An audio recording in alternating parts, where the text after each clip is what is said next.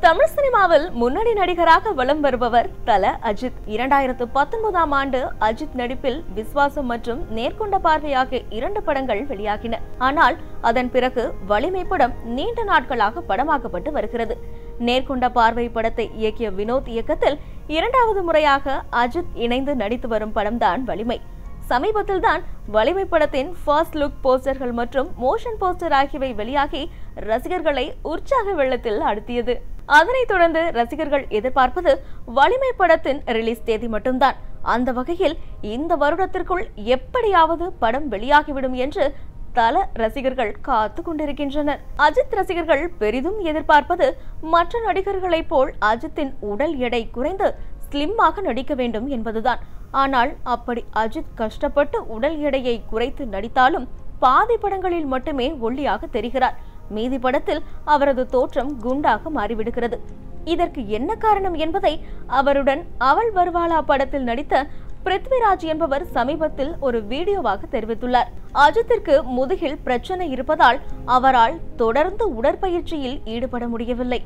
இதன் காரணமாகவே அவரே நினைத்தாலும் அவரது உடல் எடையை அவ்வளவு எளிதாக குறைக்க முடியாது என்று தெரிவித்துள்ளார். மணிரத்னம் இயக்கத்தில் சுமார் நானூறு கோடி ரூபாய் பட்ஜெட்டில் இரண்டு பாகங்களாக உருவாகி வரும் திரைப்படம் பொன்னியின் செல்வன். இந்த படங்களில் தொண்ணூறு சதவிகிதம் படப்பிடிப்புகள் முடிந்துவிட்டன. பாக்கியுள்ள படப்பிடிப்புக்காக தற்போது இந்தியா முழுவதும் காடு காடாக படையெடுத்துக் கொண்டிருக்கிறார் மணிரத்னம். சமீபத்தில் தான் பொன்னியின் செல்வன் படத்தில் தன்னுடைய போர்ஷனை முடித்துக் கொடுத்தார் ஜெயம் ரவி. அவரைத் தொடர்ந்து கார்த்திக் மற்றும் த்ரிஷா நடிக்கும் காட்சிகள் படமாக்கப்பட்டு வருகின்றன. மேலும் விக்ரமும் முக்கிய கதாபாத்திரத்தில் நடித்து வருகிறார். பொன்னியின் செல்வன் படத்தின் கதை திசை திரும்புவதற்கு விக்ரம் செய்யும் கொலைதான் காரணம் என கூறப்படுகிறது. விக்ரம் முக்கிய கதாபாத்திரம் ஒன்றை கொலை செய்த பிறகுதான் ராணியாக இருக்கும் ஐஸ்வர்யா ராய் அவரை பழி வாங்குவது என பொன்னியின் செல்வன் படத்தின் கதை படம் சூடு பிடிக்கும் எனவும் கூறப்படுகிறது. சொல்லப்போனால் பாகுபலி போல விக்ரம் கொலை செய்வது போல் முதல் பாகத்தை முடித்துவிட்டு அடுத்த பாகத்தில் மிச்சத்தை காட்டினாலும் காட்டுவார்கள் என்கின்றனர் நம்ம ஊர் கோலிவுட் வாசிகள்.